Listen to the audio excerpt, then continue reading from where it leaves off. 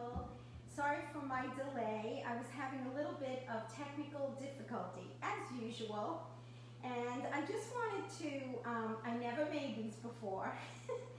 so I'm a little, I'm gonna be checking my recipe. Usually after I make something two or three times, then I have it by memory. But this is a new recipe that my friend Jeannie gave me.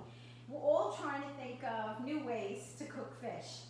And codfish is a healthy fish. It's a white fish. It comes from the cold water areas. And um, it doesn't have, I think, all the mercury that a lot of the warmer fishes, uh, the warmer areas that fish like dolphin and mahi-mahi have and tuna. So anyway, I thought I would try something new. This seems relatively simple. What I was thinking, this would go great with some fresh coleslaw, I'm actually going to do a um, like a wedge, blue cheese wedge salad with tomatoes and crushed bacon because my grandchildren would probably enjoy that more than coleslaw.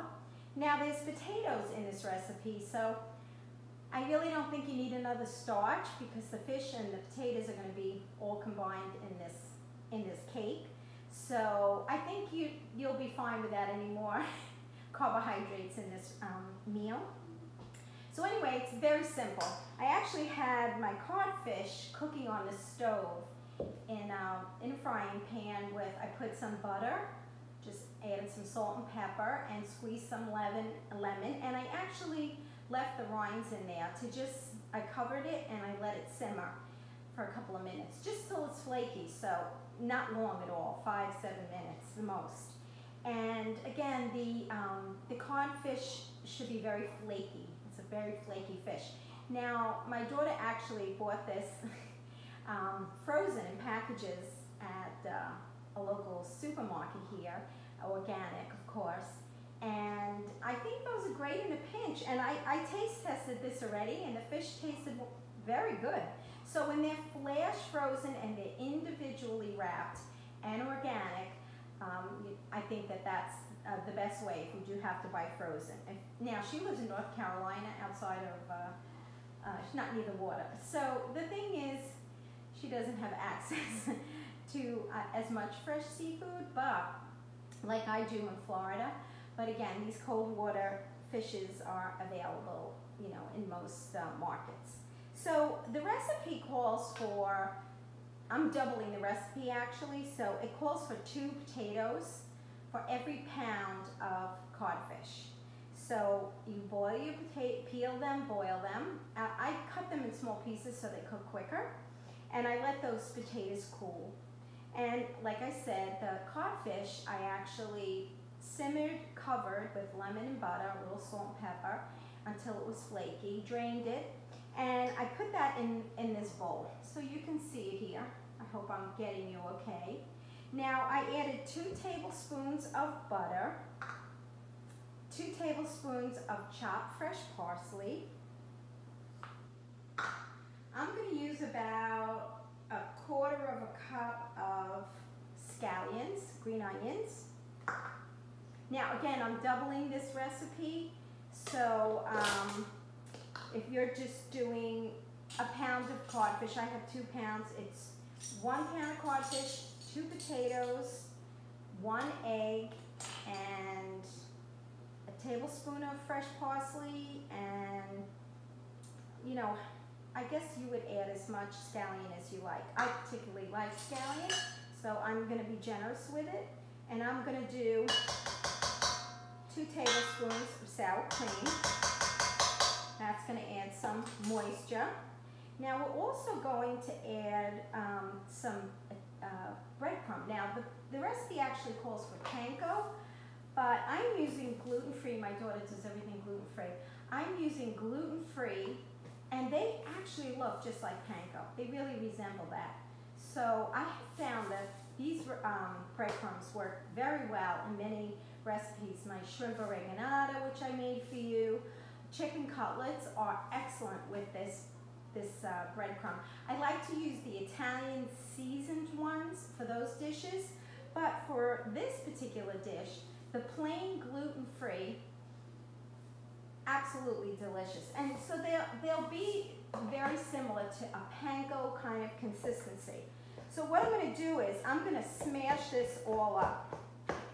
And I'm gonna add my egg, which I don't know what happened to my egg. Hold on, I gotta go get one.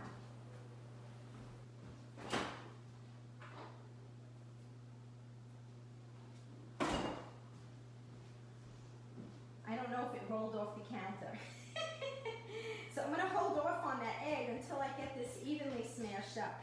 So like I said, I'm at my daughter's in North Carolina and I'm, I'm wearing one of her aprons. That's why it doesn't have my initials on it. And uh, it's been great being here. And her kitchen is my kitchen. When I come to my daughter's home, um, you know, I kind of make myself very accessible in the kitchen. It's my love language, like I have shared with many of you. And it's my joy to prepare special things for them.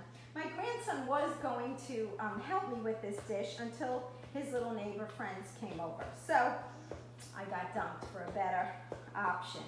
But I'm sure he'll be in the kitchen with me again during my time here. And my daughter, my granddaughter also loves the kitchen, but she's more of a baker. But Caleb, um, he really loves really anything that we do in the kitchen. And he loves food. He absolutely has a passion for it. So you see how that's all coming together? Now I, I'm gonna make these, I'm gonna keep them with enough texture in them because I like textures. I'm gonna add some salt and pepper to taste. Okay, I love these. If anybody um, wants a great gift idea, I bought these for them a while ago. So it's like battery operated salt and pepper grinders, and I'm telling you, they are the best. So I'm adding that. Okay, and I'm gonna just continue this mashing process. Now, if you have a masher, I'm sure my daughter has one here somewhere. I'm not in my own kitchen, so I don't always find things as easily as I do at home at home. And um, you know, today I was doing a message at the Flourishing Table on hope. And you know, I feel that these are difficult times and you know, just when we think we're out of the woods, maybe maybe you know, something else pops up. And we don't we really don't know uh, the days ahead, the months ahead, what we're going to be facing. And I'm just feel like, you know, not that we want to make food our God, because we have to be careful about that, because it can become an idol.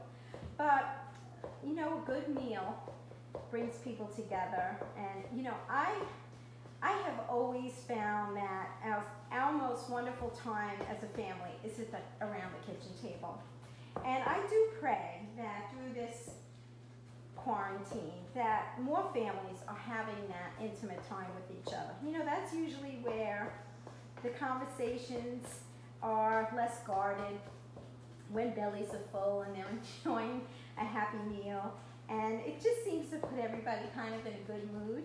And I think it's an opportunity to really be grateful. I think, you know, um, being with my grandchildren, especially my grandson, he has such a heart to pray and when we sit down as a family all together around the table, and he he usually does grace, and um, it just blesses my heart to see not only does he have faith, such great faith really as a, as a young child, but also that you know he has a grateful heart. He realizes like the things in life that really matter.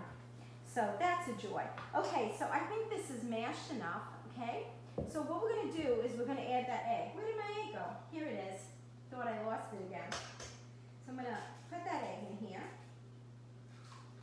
Okay, make sure I didn't drop a shell, which I'm known to do every once in a blue moon.